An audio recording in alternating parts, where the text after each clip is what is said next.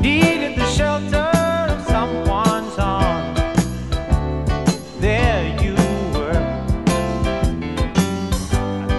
someone to understand my ups and downs. There you were, with sweet love and devotion, deeply touching my emotion. I want to stop.